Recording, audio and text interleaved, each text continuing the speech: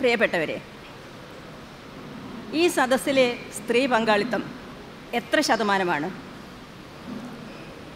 പതിനഞ്ചിൽ കൂടുതൽ ഞാൻ എണ്ണിയില്ല. ഒരു പക്ഷേ അഞ്ച് ശതമാനമോ ഏഴ് ശതമാനമോ ആയിരിക്കും. എപ്പോഴാണോ ഈ സദസ്സിൽ അമ്പത് ശതമാനം സ്ത്രീകൾ വന്നിരിക്കുന്നത്? അപ്പോഴാണ് ജെൻഡർ ഇക്വാലിറ്റി ഉണ്ടാവുക. നിങ്ങൾ പറയും എന്റെ വീട്ടിലെ സ്ത്രീകളെ ഞാൻ നിരോധിച്ചിട്ടല്ല അവരിവിടെ വരാത്തത് എന്ന്. വാസ്തവമായിരിക്കും. പക്ഷേ അവർ വന്നിട്ടില്ല. എന്തുകൊണ്ട്? പല കാരണങ്ങളുണ്ട് അതിന്. സ്ത്രീകളുടെ മനസ്സ് ആ രീതിയിൽ സജ്ജമായിരിക്കുകയാണ് എന്നതാണ് ഏറ്റവും എളുപ്പത്തിൽ പറയാവുന്ന കാരണം. ഇത്തരം സ്ഥലങ്ങളിലൊന്നും സ്ത്രീകൾ ചെല്ലാറില്ല. ഒരു കല്യാണ സദ്യയ്ക്ക് കല്യാണ ഹാളിൽ ധാരാളം സ്ത്രീകളുണ്ടായിരിക്കും. എന്നാൽ പൂരപ്പറമ്പിൽ തൃശ്ശൂർ പൂരപ്പറമ്പിൽ സ്ത്രീകളുണ്ടാവില്ല. രാഷ്ട്രീയ സദസ്സിൽ സ്ത്രീകളുണ്ടാവില്ല ഒരടിപിടി നടന്നാൽ അത് കൂടി നിന്ന് കാണുന്ന ആൾക്കൂട്ടത്തിനിടയ്ക്ക് സ്ത്രീകൾ ഉണ്ടാവുകയേയില്ല. അപ്പോൾ എങ്ങനെയുള്ള സ്ഥലങ്ങളിലാണ് സ്ത്രീകൾ എത്താത്തത്? ഒച്ച വയ്ക്കാനും ആഹ്ലാദിക്കാനും പ്രകടിപ്പിക്കാനും പ്രതിഷേധിക്കാനും ഉള്ള ഇടങ്ങളിലൊന്നും സ്ത്രീകളില്ല. മൃദുവായ ആഘോഷങ്ങളിൽ സ്ത്രീകളുണ്ട്. ഇത് കേരളത്തിലെ പൊതുവായ അവസ്ഥയാണ്. കേരളത്തിന് പുറത്ത് ഒരു സംസ്ഥാനത്തിലും ഇങ്ങനെയല്ല കാര്യം. ഹൈന്ദവതയുടെ അങ്ങേയറ്റത്തെ ക്രൂരത നടന്ന നടന്നുകൊണ്ടിരിക്കുന്ന എന്ന് സദാ വിമർശിക്കപ്പെടുന്ന ഗുജറാത്തിൽ ഗർഭനൃത്തം ചെയ്യാൻ വേണ്ടി പാതിരാത്രിയിൽ പോലും തെരുവുകളിൽ സ്ത്രീകൾ നിർഭയം നടക്കാറുണ്ട്. എന്നാൽ കേരളത്തിലെ നഗരങ്ങളിൽ പോലും എട്ട് മണിക്ക് ശേഷം സ്ത്രീകൾ ഒറ്റയ്ക്ക് വണ്ടി ഓടിച്ചു പോവില്ല. അക്കാദമികളുടെ ആസ്ഥാനമായ എന്റെ തൃശ്ശൂരിൽ അക്കാദമികളിലെ പരിപാടികൾ കാണാൻ വരുന്ന സ്ത്രീകളൊക്കെ കുടുംബാംഗങ്ങളുടെ കൂടെ കാറിലാണ് വരുന്നത്. ഒറ്റയ്ക്ക് സ്കൂട്ടർ ഓടിച്ച് വീട്ടിൽ പോകുന്ന സ്ത്രീകൾ വിരലെണ്ണാവുന്നവരാണ്. അതിലൊരാളാണ് ഞാൻ. സ്കൂട്ടർ ഓടിച്ച് എന്ന് പ്രത്യേകം പറയേണ്ടതുണ്ട്. കാറിൽ യാത്ര ചെയ്യുന്നത് സംരക്ഷിതമായ യാത്രയാണ്. സ്കൂട്ടർ അങ്ങനെയല്ല എക്സ്പോസ്ഡ് ആണ്. ആർക്കും എപ്പോഴും കൈവയ്ക്കാവുന്ന അവസ്ഥയിലേക്ക് സ്വയം പ്രതിഷ്ഠിക്കുന്ന ഒരിടമാണ് സ്കൂട്ടർ യാത്ര. ഞാൻ അത് ചെയ്തുകൊണ്ടേയിരിക്കുകയും അങ്ങനെ യാത്ര ചെയ്യുന്നതിനിടയിൽ ആക്രമിക്കപ്പെടുകയും ചെയ്ത സ്ത്രീയാണ്. എന്നിട്ടും ഞാൻ സ്കൂട്ടർ യാത്ര മനഃപൂർവം തുടരുന്നു. കാർ ഓടിക്കാൻ അറിയാഞ്ഞിട്ടല്ല. കാർ ഉപയോഗിച്ച് തന്നെയാണ് ഞാൻ എന്റെ ഓഫീസിലേക്ക് പോകുന്നതും. എന്നാലും നഗരത്തിലെ തിരക്കിൽ യാത്രാ സൗകര്യത്തിന് സ്കൂട്ടർ വേണം. അതാണ് ഒരു കാരണം. രണ്ട് സ്കൂട്ടർ ഓടിക്കാൻ കഴിയുക എന്നത് സ്ത്രീയുടെ ലിബറേഷന്റെ ഒരു സ്റ്റേജാണ്.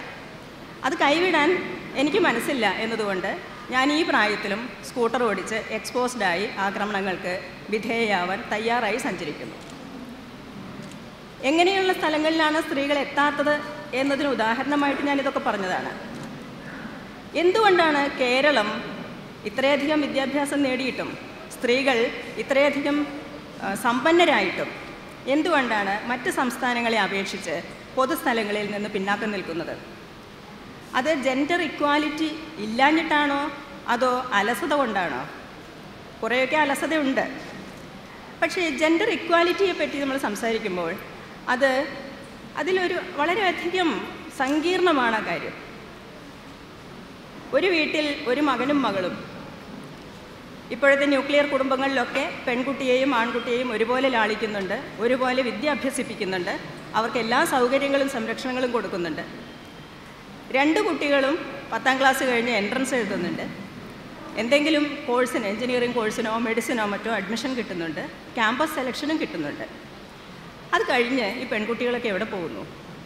ക്യാമ്പസ് സെലക്ഷൻ കിട്ടി ടെക്കുകളായി മാറുന്ന ഒരാൺ ആണും പെണ്ണും പെണ്ണ് ടെക്കിയായ ആണിന്റെ ഭാര്യയായി വളരെ സൗകര്യപൂർവം ജീവിച്ച് അലസമായി സുഖമായി ജീവിച്ച് കാലയാപനം ചെയ്യുകയാണ് ചെയ്യുന്നത്.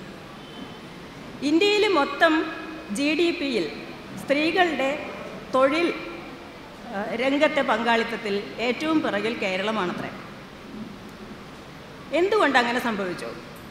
കൂടുതൽ ദാരിദ്ര്യവും തൊഴിലില്ലായ്മയും ഒക്കെയുള്ള സ്ഥലങ്ങളിൽ സ്ത്രീകളുടെ പങ്കാളിത്തം കൂടുതലാണ്. എന്നാൽ കേരളത്തിൽ എന്തുകൊണ്ടത് കുറവാകുന്നു? കേരളത്തിൽ ഒരാളുടെ സമ്പാദ്യം കൊണ്ട് തന്നെ സുഖമായി ജീവിക്കാവുന്നൊരവസ്ഥയുണ്ട്. അതുകൊണ്ട് വിവാഹശേഷം ഒന്നാമത്തെ പ്രസവത്തോടു കൂടി തന്നെ സ്ത്രീ വീട്ടിലിരിക്കാൻ തുടങ്ങും. സർക്കാർ ഉദ്യോഗം കിട്ടുന്ന സ്ത്രീകളാണ് തൊഴിലിന് പോകുന്നത്. അതിന് കാരണം സൗകര്യമായി ലീവ് എടുക്കാം എന്നതാണ്. സൗകര്യമായി മാത്രം ജോലി ചെയ്യാൻ മതി എന്നിട എന്ന സാധ്യതയുള്ള ഒരേ ഒരു ഇനം കേരള സർക്കാർ ഉദ്യോഗമാണ് അതുകൊണ്ട് അവിടെ സ്ത്രീകളുണ്ടായിരിക്കും. അതല്ലാത്ത ഇടങ്ങളിൽ നിന്നൊക്കെ സ്ത്രീ പിൻവാങ്ങും. നോക്കൂ നമ്മുടെ തുണിക്കടകളിലൊക്കെ മിക്കവാറും സ്ത്രീകളാണ് ചെറുപ്പക്കാരികളാണ്. കുറച്ച് നാളൊക്കെ അവിടെ ഉണ്ടായിരിക്കും. കുറച്ച് കഴിഞ്ഞാൽ അവരവിടെ നിന്ന് അപ്രത്യക്ഷരാകും അവരൊക്കെ കല്യാണം കഴിഞ്ഞു പോവുകയാണ്. ഭംഗിയുള്ള പെൺകുട്ടികളെ പെണ്ണ് തിരഞ്ഞു നടക്കാൻ പറ്റിയ ഇടമാണ് തുണിക്കടകൾ. കല്യാണം കഴിച്ചു കൊണ്ടുപോയാൽ ആ പെൺകുട്ടിയുടെ തൊഴിൽ എന്തെന്നേക്കുമായി തീർന്നു. ചെറിയ സമ്പാദ്യത്തിന് വേണ്ടി അങ്ങനെ കഷ്ടപ്പെട്ട് തൊഴിലെടുക്കേണ്ട കാര്യമൊന്നും സ്ത്രീക്കില്ല. കാരണം നല്ല സ്ത്രീധനം കൊടുത്താണ് കല്യാണം കഴിച്ചു കൊടുക്കുന്നത്. അങ്ങനെ ഒരുപാട് ധനവുമായി കയറി വരുന്ന പെൺകുട്ടിയെ ഇനിയും കഷ്ടപ്പെടുത്താതെ സുഖമായി വീട്ടിലിരുത്തേണ്ട ബാധ്യത ഭർത്താവിനുണ്ട്. അയാളത് ചെയ്തിരിക്കും. സ്ത്രീ ചെയ്യുന്നത് എന്താണ്? വാഷിംഗ് മെഷീനും കുക്കറും ഒക്കെ ഉപയോഗിച്ച് ഭക്ഷണം പാകം ചെയ്ത് ഒരു കുട്ടിയോ രണ്ട് കുട്ടിയോ മറ്റോ പ്രസവിച്ച് അവരെ വളർത്തി കാലയാപനം കഴിക്കുന്നു. ഇതാണ് കേരളത്തിലെ ഒരു ആവറേജ് സ്ത്രീയുടെ ജീവിതം. ഈ സുഖ സൗകര്യങ്ങൾ ഉണ്ടാക്കുന്ന അലസതയാണ് കേരളത്തിലെ സ്ത്രീയെ ഒരു നിശ്ചിത നിലവാരത്തിൽ നിന്ന് മുന്നോട്ട് നടക്കാൻ പ്രേരിപ്പിക്കാത്തത്. ദുരിതങ്ങൾ ഉണ്ടാകുമ്പോഴാണ് അതിനെ എതിർത്ത് കീഴടക്കി മറ്റൊരിടത്ത് എത്താൻ ശ്രമിക്കുകയുള്ളൂ. ഇവിടെ ദുരിതങ്ങളില്ല. ഒരുപാട് പണം പുറത്തുനിന്ന് വരുന്നുണ്ട്. ഒരുപാട് സംരക്ഷണങ്ങൾ കിട്ടുന്നുണ്ട്. അതുകൊണ്ട് തന്നെ ആർക്കും ദുരിതപ്പെടേണ്ട കാര്യമൊന്നുമില്ല. ഇന്ന് രാവിലെ എന്റെ ഹോട്ടൽ റൂമിൽ വേറെ പണിയൊന്നുമില്ലാത്തത് കൊണ്ട് ഞാൻ ടി വി ഓൺ ചെയ്തു വെച്ചു. അപ്പോൾ ജെ ബി ജംഗ്ഷനിൽ കെ പി എസ് സിയിൽ എഴുതിയ ജോൺ ബ്രിട്ടാസ് ഇന്റർവ്യൂ ചെയ്യുകയാണ്. അവരൊരുപാട് കരഞ്ഞു. ഒരുപാട് ദുരിതക്കഥ പറഞ്ഞു. അവരുടെ ദുരിതങ്ങൾക്കൊക്കെ കാരണം ഭരതനായിരുന്നു. മറ്റൊരു ദുരിതവും അവരുടെ ജീവിതത്തിൽ ഉണ്ടായിട്ടില്ല. അവർ കെ പി എസ് സിയിൽ ജോലി ചെയ്തു അഭിനയിച്ചു അവർക്ക് നല്ല പേര് കിട്ടി സമ്പാദ്യം ഉണ്ടായി അവരെ കേരളീയർ മുഴുവൻ സ്നേഹിക്കുന്നുണ്ട്. ആ നിലയ്ക്ക് അവരുടെ ജീവിതം വളരെ സാർത്ഥകമാണ്. പക്ഷേ അവർ കരഞ്ഞതൊക്കെ ഭരതനെ ചൊല്ലിയാണ്. ഭരതൻ അവർക്കുണ്ടാക്കി തീർത്ത ദുരിതങ്ങളെ പറ്റി പറഞ്ഞാണ് അവർ കരഞ്ഞത്. എന്നിട്ടും ഭരതൻ മരിച്ചു പോയതിനെ ഓർത്ത് ദുഃഖിച്ചു. അപ്പോഴും അവർ കരഞ്ഞു. കോടിക്കണക്കിന് രൂപയുടെ കടങ്ങൾ ഭരതനുണ്ടാക്കിയത്. അവരിരിക്കെ തന്നെ മറ്റൊരു പ്രമുഖ നടിയെ ഭരതൻ പ്രണയിച്ച് അവരുടെ കൂടെ പോയത്. ഇതെല്ലാം അവർ വിവരിച്ച് കരഞ്ഞു. ഭരതൻ എന്ന ചിത്രകാരനെയും സംവിധായകനെയും നമ്മൾ ഒരുപാട് ബഹുമാനിക്കുന്നുണ്ട്. അദ്ദേഹത്തെ അങ്ങനെ കൊണ്ടു നടക്കാൻ വേണ്ടി ഭാര്യയായ വളരെ പ്രഗത്ഭയായ ഒരു നടി അനുഭവിച്ച ദുരിതങ്ങളാണ് ആ ഇന്റർവ്യൂവിൽ ഞാൻ കേട്ടതൊക്കെ. ലളിത ഭരതനെ വിവാഹം ചെയ്തില്ലായിരുന്നെങ്കിലോ? ഭരതൻ ചിത്രം വരയ്ക്കും. ഭരതൻ ആരവം എന്ന സിനിമയുണ്ടാക്കും. അതിനുശേഷം തകര എന്ന സിനിമ ചിലതൊക്കെ നന്നാവും ചിലതൊക്കെ പൊളിഞ്ഞേക്കും. ഭരതൻ അസുഖം വരും. ഭരതൻ ആശുപത്രിയിൽ കിടന്ന് മരിക്കും. അപ്പോഴും ഇതൊക്കെ തന്നെ സംഭവിക്കും. പക്ഷേ ലളിതയ്ക്ക് ഈ ദുരിതങ്ങൾ ഉണ്ടാവില്ലായിരുന്നു.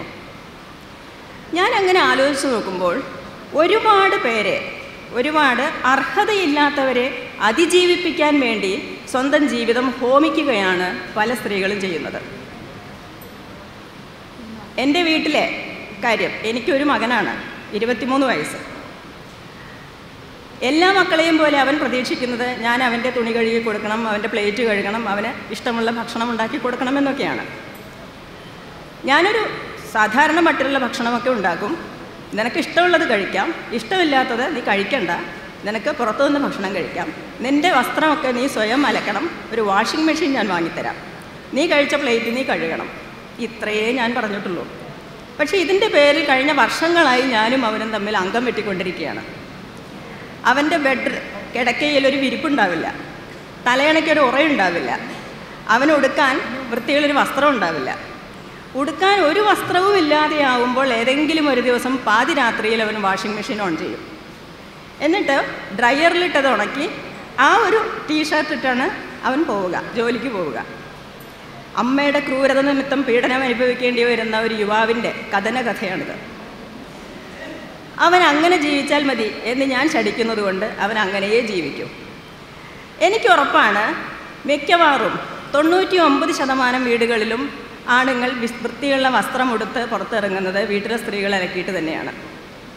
അവർ തിന്ന പ്ലേറ്റ് കഴുകുന്നത് സ്ത്രീകൾ തന്നെയാണ്. ഇങ്ങനെ അമ്പത് ശതമാനം വരുന്ന ഒരു ജനത മറ്റേ അമ്പത് ശതമാനത്തെ വൃത്തിയും മെനയുമായി കൊണ്ടു നടക്കാൻ വേണ്ടി വീട്ടിലിരിക്കുക അല്ലെങ്കിൽ അധിക പണി ചെയ്യുക.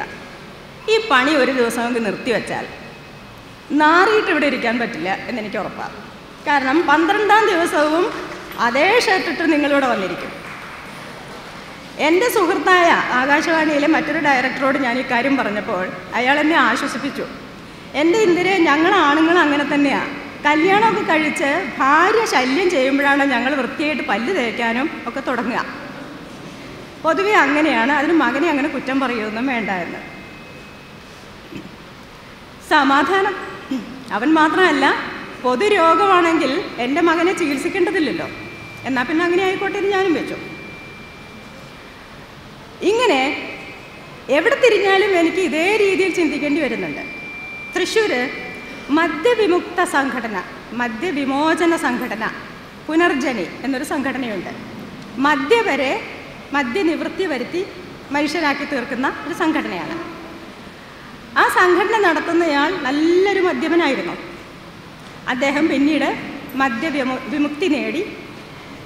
മദ്യവിമോചനത്തിന് വേണ്ടി ഒരു സംഘടന തുടങ്ങി. ഒരുപാട് പേരെ രക്ഷിച്ചിട്ടുണ്ട്. അദ്ദേഹം ഒരു പുസ്തകവും എഴുതി. പുസ്തകത്തിൽ അദ്ദേഹം സ്വന്തം ഭാര്യയെ ഒരുപാട് വാഴ്ത്തുന്നുണ്ട്. മദ്യപിച്ച് ഓടയിൽ കിടന്നിരുന്ന ജീവിതം തുലഞ്ഞുപോയിരുന്ന തന്നെ ക്ഷമാപൂർവം ജീവിതത്തിലേക്ക് തിരിച്ചു കൊണ്ടുവന്ന് ഇന്നത്തെ ഞാനാക്കിയത് എന്റെ പത്നിയാണ് എന്ന്. അയാൾ ഒരു ദിവസം എന്നെ കാണാൻ വന്നപ്പോൾ ഞാൻ അയാളോട് പറഞ്ഞു അയാൾ എന്നോട് പല പ്രാവശ്യം ഇക്കാര്യം കാര്യം പറഞ്ഞിട്ടുണ്ട്. ഞാൻ പറഞ്ഞു ഞാൻ ആലോചിക്കുകയാണ് നിങ്ങളുടെ ഭാര്യയ്ക്ക് എന്തിന്റെ കേടായിരുന്നു എന്ന്. നിങ്ങൾ ആ ഓടയിൽ കിടന്ന് മരിച്ചു പോയിരുന്നെങ്കിൽ എന്ത് കുഴപ്പം ഈ ഭൂമിക്ക് സംഭവിക്കും? എത്രയോ മനുഷ്യർ ഈ ഭൂമിയിലുണ്ട്. അതിലൊരാൾ സ്വയം കൃതാനർത്ഥ നിമിത്തം ഓടയിൽ കിടന്ന് മരിച്ചു പോയാൽ ആർക്കെന്ത് നഷ്ടം വരാൻ? അവർക്ക് വേറെ പടിയൊന്നുമില്ലായിരുന്നോ സ്വന്തം ജോലി ചെയ്ത് മക്കളെ പുലർത്തി സുഖം സന്തോ അന്തസ്സോടുകൂടി ജീവിച്ചുകൂടായിരുന്നോ എന്ന് ഞാൻ ആലോചിച്ചിട്ടുണ്ടെന്ന് പറഞ്ഞു. അതിനുശേഷം ആ മനുഷ്യനെ കാണാൻ വന്നിട്ടില്ല. അങ്ങനെ അദ്ദേഹം പറയുമ്പോഴൊക്കെ ആ കഥ ആവർത്തിക്കുമ്പോഴൊക്കെ അതിനെ ശ്ലാഘിച്ചുകൊണ്ട് ആ ഭാര്യയ്ക്ക് നല്ല സർട്ടിഫിക്കറ്റ് കൊടുത്ത് അവരെ ഒരു ശീലാവതിയോ സാവിത്രിയോ ഒക്കെ ആക്കി കണ്ട് ആഘോഷിക്കുമ്പോൾ അദ്ദേഹത്തിന് തൃപ്തി സമൂഹത്തിന് തൃപ്തി. തിരിച്ചൊരു ചോദ്യം ഒറ്റ പ്രാവശ്യം ചോദിച്ചപ്പോൾ അദ്ദേഹം ആകാശവാണിയുമായുള്ള ബന്ധം തന്നെ ഉപേക്ഷിച്ചു. പിന്നീട് ഒരിക്കലും എന്റെ മുൻപിൽ വന്നിട്ടുമില്ല. ഇതാണ് യഥാർത്ഥത്തിലുള്ള ഷോക്ക്. വിഷമത്തിന്റെ അവസ്ഥകളിലേക്ക് അങ്ങ് ഉന്തി വിടുക. ഉന്തി വിടുമ്പോഴറിയാം ആര് സർവൈവ് ചെയ്യുമെന്ന്. ഞാൻ ചോദിക്കട്ടെ? പെണ്ണിന് ജീവിക്കാൻ ആൺതുണ വേണം എന്നതാണ് ഭീഷണി. ഒരു പെണ്ണിന് ജീവിക്കാൻ എന്താണ് ഈ നാട്ടിൽ ആവശ്യമുള്ളത്? താഴിടാൻ പറ്റുന്ന ഒരു മുറി ടോയ്ലറ്റ് അറ്റാച്ച്ഡ് ആയിരിക്കണം. കാരണം പാതിരാത്രി മൂത്രം ഒഴിക്കാൻ പുറത്തിറങ്ങിയാൽ അവളെ റേപ്പ് ചെയ്യാൻ ആരെങ്കിലും ഒരാൾ പുറത്തുണ്ടായിരിക്കും. താഴിട്ട് പൂട്ടാവുന്ന ഒരു മുറി. അതിന്റെ മൂലയ്ക്കൽ ഒരു സ്റ്റൗ രണ്ടോ മൂന്നോ പാത്രം അവൾ കഞ്ഞി വെച്ച് കുടിച്ച് വാതിലടച്ച് കിടന്നോളും. അവൾക്ക് മൂവായിരം രൂപ മാസം കിട്ടുന്നൊരു തൊഴിലുണ്ടെങ്കിൽ അവൾ ജീവിക്കും. അടുത്തുള്ള കടയിൽ നിന്ന് അരി വാങ്ങാൻ കിട്ടിയാൽ മതി. അവൾക്ക് പച്ചക്കറി ഉണ്ടാക്കാൻ സ്ഥലമുണ്ടെങ്കിൽ അവൾ നട്ട് നനച്ചുണ്ടാക്കും. ഒരു സ്ത്രീക്ക് ഒരു വർഷം വസ്ത്രം ഉടുക്കണമെങ്കിൽ ഇന്ന് അഞ്ഞൂറ് രൂപ കൊണ്ട് സാധിക്കും. കാരണം അമ്പത് രൂപയ്ക്ക് നൈറ്റ് കിട്ടും. നൂറ് രൂപയ്ക്ക് സാരി കിട്ടും. അഞ്ച് ലക്ഷം രൂപയ്ക്ക് മാത്രമല്ല അമ്പത് രൂപയ്ക്കും കിട്ടും. ഏറ്റവും വില കുറഞ്ഞ വസ്ത്രങ്ങൾ വാങ്ങി ഉടുത്ത് തൊഴിലെടുത്ത് അവൾ ഒറ്റയ്ക്ക് സുരക്ഷിതയായി അന്തസ്സോടുകൂടി ജീവിക്കാൻ ഒരു സ്ത്രീക്ക് ഇത്രയേ ആവശ്യമുള്ളൂ. അങ്ങനെയുള്ള സ്ത്രീയാണ് കിലോ കണക്കിന് അല്ലെങ്കിൽ എത്രയോ പവൻ കണക്കിന് സ്വർണവും ആഭരണങ്ങളും മറ്റും മറ്റും മറ്റുമായി മറ്റൊരു വീട്ടിൽ അയാളുടെ വീട് പുലർത്താൻ വേണ്ടി പറഞ്ഞു വിടുന്നത്. കേടുപാടുകൾ തീർത്ത് വളർത്തി വലുതാക്കി ഒരു മനുഷ്യനെ പുരുഷനെ സ്ത്രീയെ എന്നല്ല ഒരു മനുഷ്യനെ മറ്റൊരു മനുഷ്യന്റെ വീട്ടിൽ നിർബന്ധപൂർവം കൊണ്ടുപോയി താമസിപ്പിക്കുന്ന വ്യവസ്ഥയാണ് വിവാഹം. ആ വിവാഹത്തിന്റെ ലാഭം സ്ത്രീക്കാണെന്നാണ് പുരുഷൻ പറയുന്നത് സമൂഹം പറയുന്നത്. വാസ്തവത്തിൽ ആർക്കാണ് അതുകൊണ്ട് ലാഭം? ഈ തരത്തിൽ ഒരാളെ തൊഴിലിന് വിളിച്ചാൽ ദിവസം അഞ്ഞൂറ് രൂപയെങ്കിലും കൊടുത്താലേ കിട്ടുള്ളൂ. വെറുതെ നിന്ന് തിരിഞ്ഞു കളിക്കാൻ അഞ്ഞൂറ് രൂപ കൊടുക്കണം. ഇതിപ്പോൾ ഒരു ചെലവുമില്ലാതെ ഒരു വ്യക്തിയെ കിട്ടുന്നു. പോരാത്തതിന് ഒരു ആയുഷ്കാലം മുഴുവൻ ആ ജീവിക്ക് ആ മനുഷ്യന് ജീവിക്കാൻ ആവശ്യമായത്ര പണവും കൊണ്ടാണ് ആൾ വരുന്നത്. അയാൾക്ക് സെക്ഷൽ പ്രഷർ കൊടുക്കുന്നു അതിന്റെ ഫലമായി ആ സ്ത്രീ പ്രസവിക്കുന്നു. അതുകൊണ്ട് ആ സ്ത്രീക്ക് ജോലി ചെയ്യാൻ താൽക്കാലികമായി നിവൃത്തിയില്ലാതെയാകുന്നു. ഇതൊക്കെ സ്ത്രീയുടെ പ്രാരാബ്ധമാണ് എന്ന് കരുതി അവളിൽ നിന്ന് കൂടുതൽ പണം വാങ്ങുന്നു. ഈ വ്യവസ്ഥയ്ക്കുള്ള പേരാണ് വിവാഹം. ഇതങ്ങ് തള്ളിക്കളഞ്ഞാൽ സ്ത്രീ തള്ളിക്കളഞ്ഞാൽ കുറേ കുടുംബങ്ങളില്ലാതെയാവും. അതുകൊണ്ട് ഈ ഭൂമിക്ക് ഒരു നഷ്ടവും വരില്ല. എഴുന്നൂറ് കോടി ജനതയുള്ള ഈ ലോകത്ത് ഇപ്പോൾ നടക്കുന്ന വിവാഹങ്ങൾ പകുതി എണ്ണമായി കുറഞ്ഞാൽ ഒരു പുല്ലും സംഭവിക്കില്ല. നല്ല സൗകര്യമുള്ളവർ കല്യാണം കഴിച്ചാൽ മതി.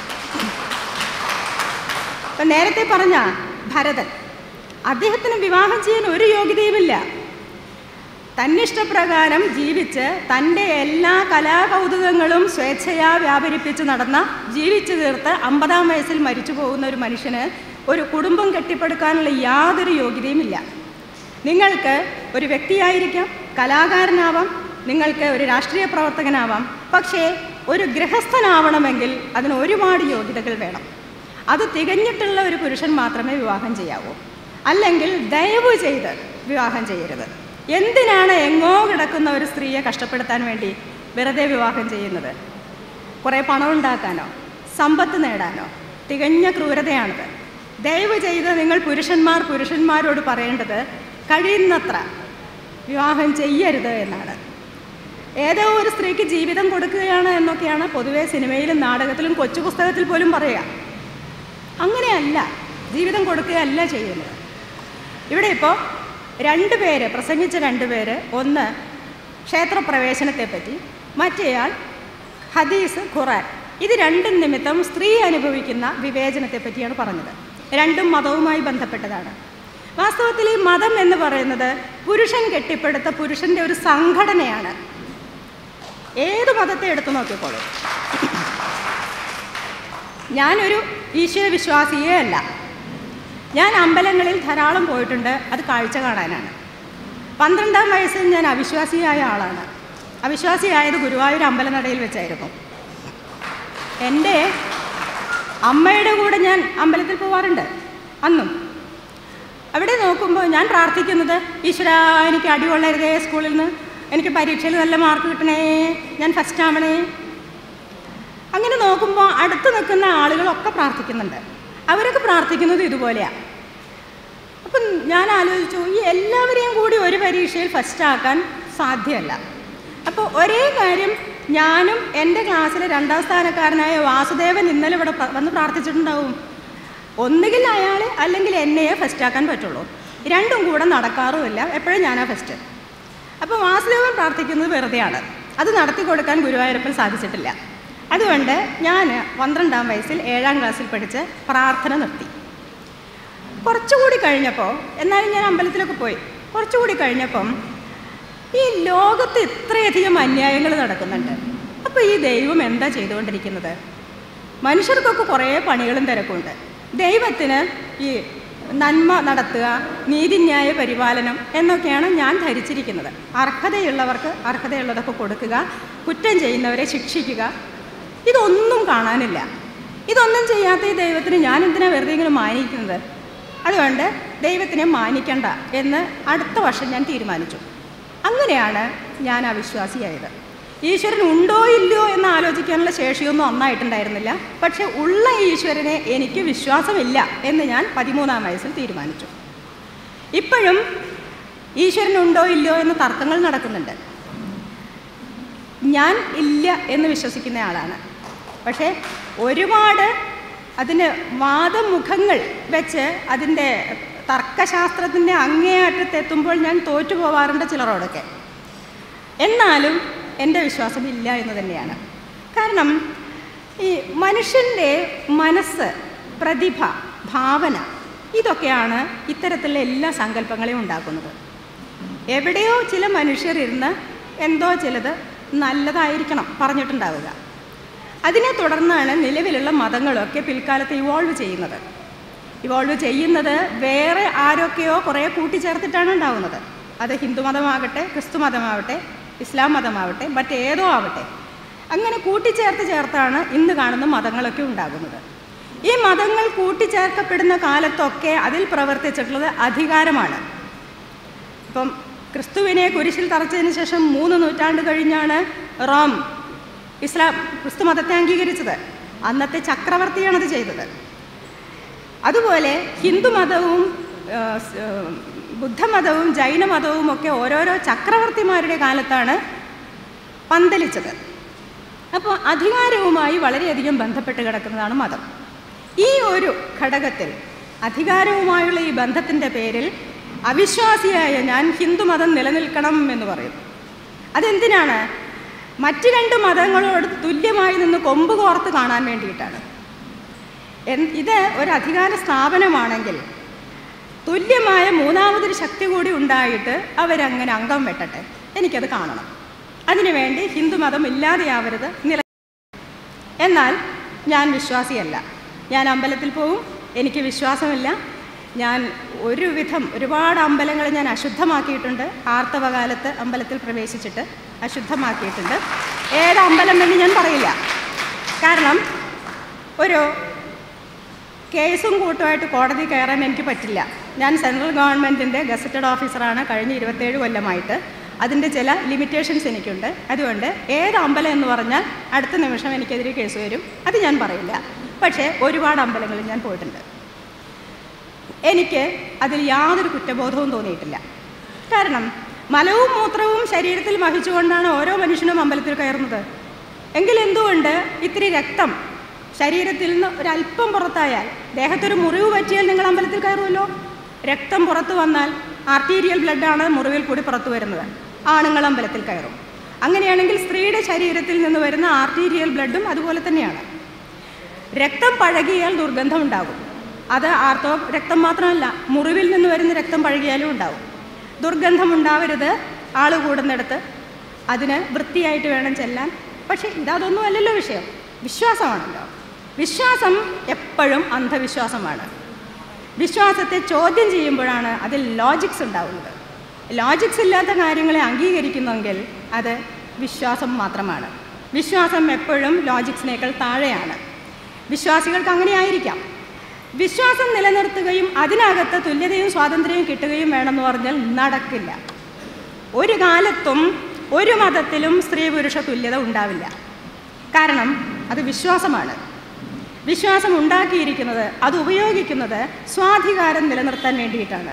സ്വാധികാരം നിലനിർത്തേണ്ട സന്ദർഭത്തിൽ താഴെയായി ചവിട്ടിത്താഴ്ത്തി നിർത്തേണ്ടത് തന്നിൽ എളിയവനെയും ഇളയവനെയുമാണ്. സ്ത്രീ പുരുഷന്റെ മുൻപിൽ വലിപ്പം കൊണ്ടും ശക്തി കൊണ്ടും ചെറുതാണ്. അതുകൊണ്ട് എവിടെയും സ്ത്രീയെ താഴ്ത്തി തന്നെയേ പുരുഷൻ നിൽക്കുള്ളൂ.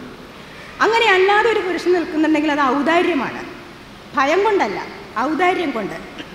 തുല്യത യഥാർത്ഥത്തിൽ ഉണ്ടാകുന്നത് മറ്റേയാളെ തന്നെ പോലെ ബഹുമാനിക്കേണ്ടി വരുമ്പോഴാണ്. ബഹുമാനിക്കുക എപ്പോഴാണ്? ഏതെങ്കിലും വിധത്തിൽ മറ്റേയാൾ എനിക്ക് തുല്യ തുല്യൻ ആണ് എന്ന് ബോധ്യപ്പെടുമ്പോഴാണ് ബഹുമാനിക്കുക. അത് ശരീരശേഷി കൊണ്ട് സ്ത്രീക്ക് സാധ്യമല്ല വലിപ്പം കൊണ്ട് സാധ്യമല്ല അപ്പോൾ ബുദ്ധി കൊണ്ടും സ്ഥാനം കൊണ്ടും അധികാരം കൊണ്ടുമേ സാധിക്കും.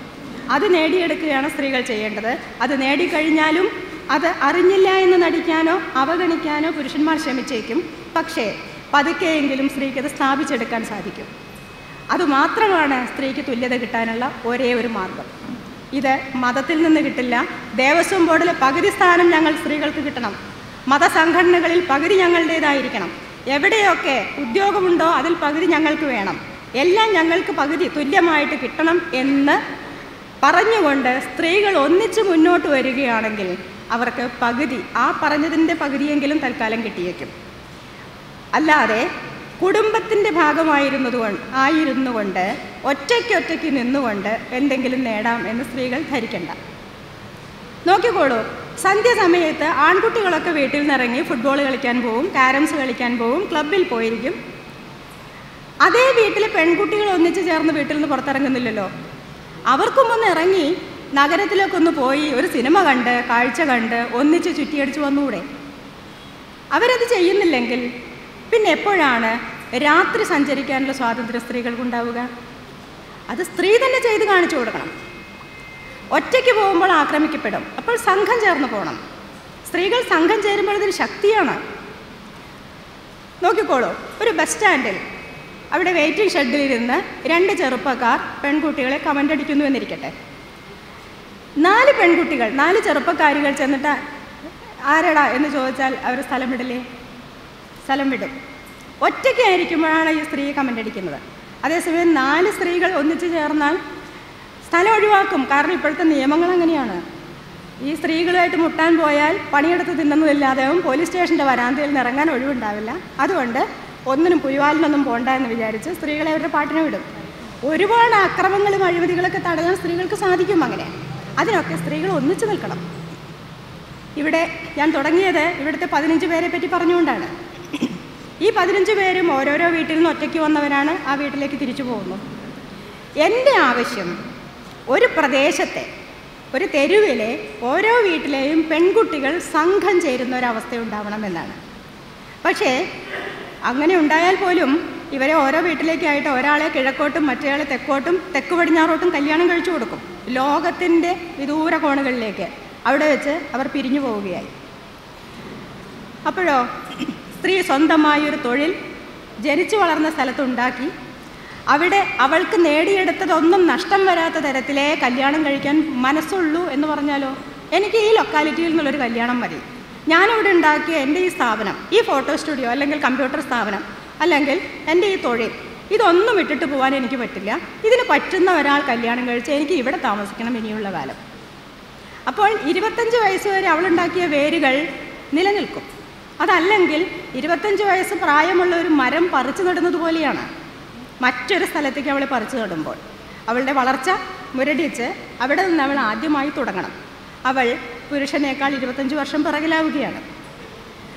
അതുപോലെ ഈ ഒരേ ജോലി കിട്ടി ഒരുപോലെ പഠിച്ചു വരുന്ന ഇപ്പുറത്തിരിക്കുന്ന എഞ്ചിനീയറായ ആൺകുട്ടിക്ക് ഇരുന്നൂറ്റമ്പത് പവൻ സ്വർണവും മറ്റും കൊടുത്ത് എഞ്ചിനീയറായ പെൺകുട്ടി അയാളുടെ വീട്ടിലേക്ക് ചെന്ന് താമസിക്കുമ്പോൾ അയാളുടെ മൂല്യം എത്രയാണ്? ഇവളുടെ മൂല്യം മൈനസ് എത്രയാണ്? ഒരു വിവാഹം കൊണ്ട് ഇത്തരത്തിലുള്ള യാതൊരു തരത്തിലുള്ള വ്യവസ്ഥകളും നടത്താൻ എനിക്ക് സമ്മതമല്ല എന്ന് പറഞ്ഞാൽ ഞാൻ അനുഭവിച്ചതൊക്കെ ആ പെൺകുട്ടികൾക്ക് അനുഭവിക്കേണ്ടി വരും. പക്ഷേ അത് ആത്യന്തികമായി നേട്ടത്തിലേക്കും നന്മയിലേക്കുമാണ് നയിക്കുക. താൽക്കാലികമായ ലാഭത്തിന് വേണ്ടി ഇത്തരത്തിലുള്ള കോംപ്രമൈസിനൊന്നും തയ്യാറാവാതെ ഒരു ജീവിതത്തെ മൊത്തമായിട്ട് കാണുകയാണെങ്കിൽ നേട്ടങ്ങൾ ഉണ്ടാക്കാൻ സ്ത്രീകൾക്ക് കഴിയും. ഇതിപ്പോൾ കുടുംബം കുളം തോണ്ടുന്ന പരിപാടിയാണ് ഞാനീ പറയുന്നത് അല്ലേ? സത്യമാണ് കുടുംബം ഒരു വലിയ വ്യവസ്ഥയാണ്. കുടുംബം എപ്പോഴും സ്ത്രീയുടെ മുതുകത്താ പണിയുന്നത്. സ്ത്രീ ഒന്ന് നിവർന്നു നിന്നാൽ കുടുംബം താഴെ വീഴും. അതുകൊണ്ട് സ്ത്രീയെ നിവർന്നു നിൽക്കാൻ അനുവദിക്കില്ല. അതുകൊണ്ട് സ്ത്രീ നിവർന്നു നിൽക്കണം.